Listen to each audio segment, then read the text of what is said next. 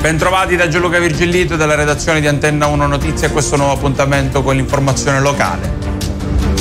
Sono oltre 116 milioni di euro destinati alla Sicilia nell'ambito del PNRR per 8 progetti su 23 ammissibili di rigenerazione urbana di edilizia residenziale pubblica presentate dalla Regione o da comuni e città metropolitane siciliane finanziati con fondi del Piano Nazionale di Ripresa e Resilienza del Residio 2019-2020 per attuare il programma innovativo nazionale per la qualità dell'abitare.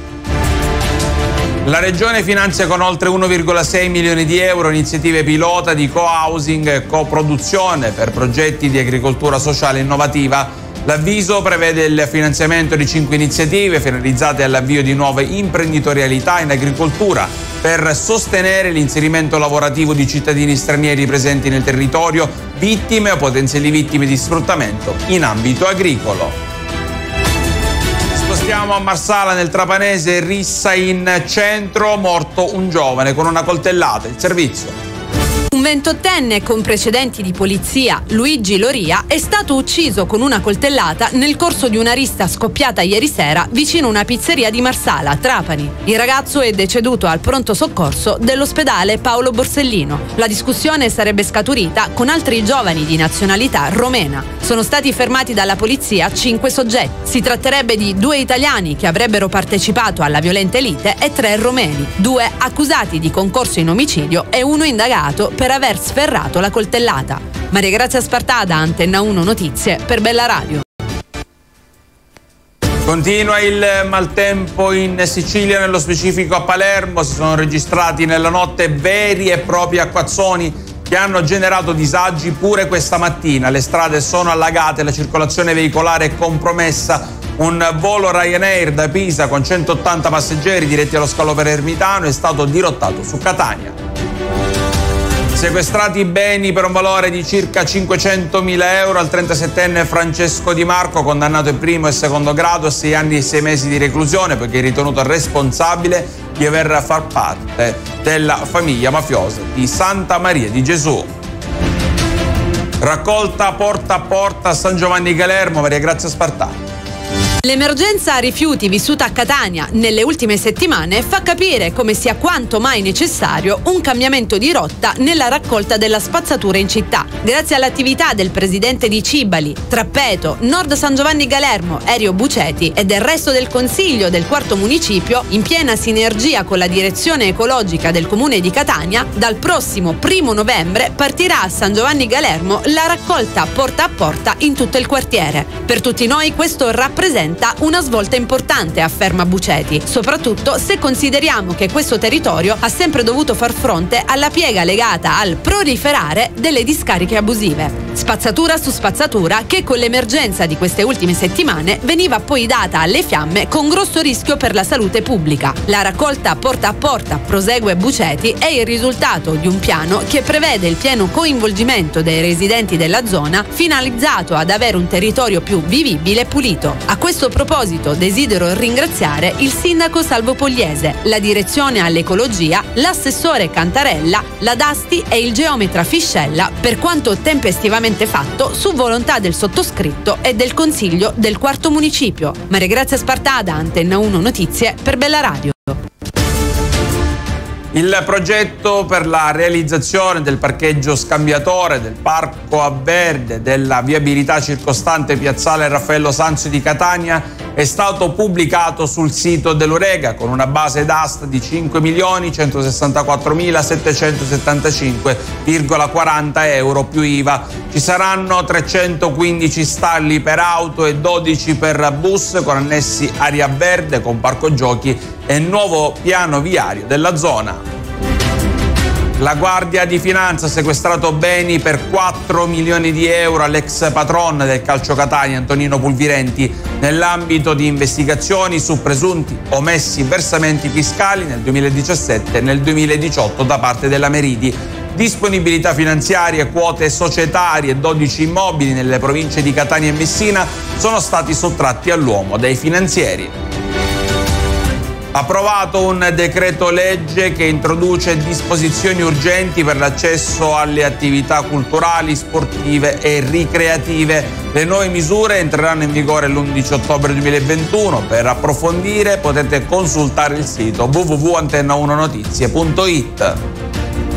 E con questa news termina questa edizione del nostro Radio Telegiornale da Gianluca Virgillito. Grazie per averci seguito e buon proseguimento di giornata.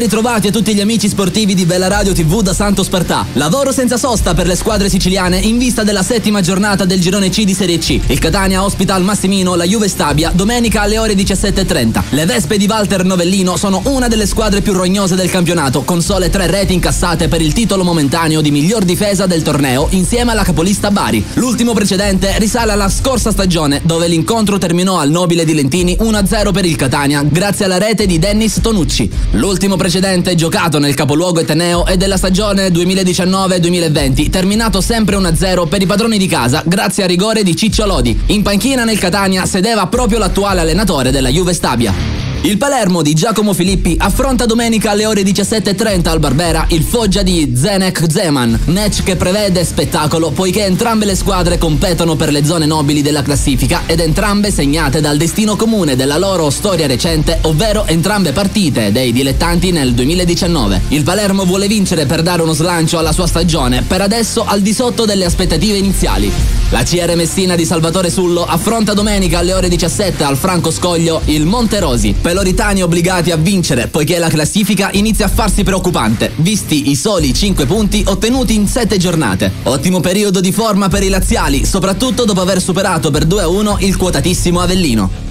Dal calcio alla canoa polo, con le prime giornate dei campionati europei disputati al Molo di Levante del Porto di Catania. Gol, spettacolo ed emozioni hanno riservato i primi istanti del torneo che si preannuncia spettacolare. L'Italia parte forte superando per 4-0 il Portogallo, a segno Novara, Bellini, Emanuele ed ancora Bellini. Però poi gli azzurri devono cedere il passo alla Francia che vince 5-0. Stamattina alle 9.10 la squadra del direttore tecnico Rodolfo Vastola affronta la Lituania. Nel senior femminile le azzurre invece cedono per 2-1 contro la Francia. Francia. La sblocca Anastasi, pareggia Claire e poi segna Luis Celeste.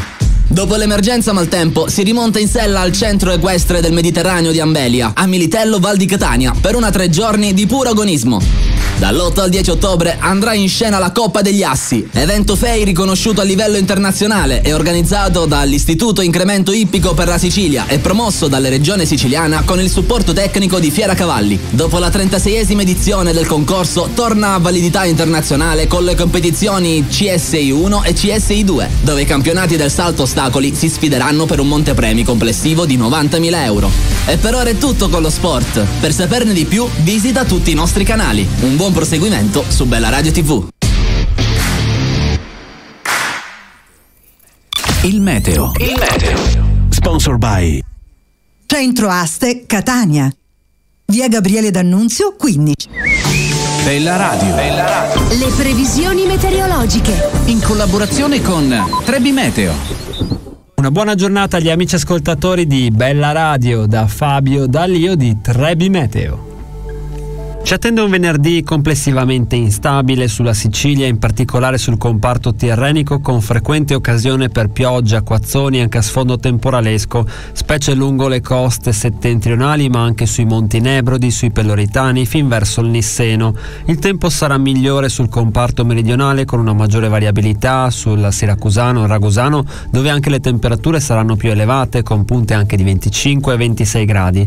Clima ventoso per correnti di maestrale sempre più piuttosto forti con mareggiate lungo le coste esposte, mari che saranno in generale agitati, anche molto agitati, specie il Tirreno e il canale di Sicilia. Ma per maggiori dettagli consultate l'app di 3B Meteo.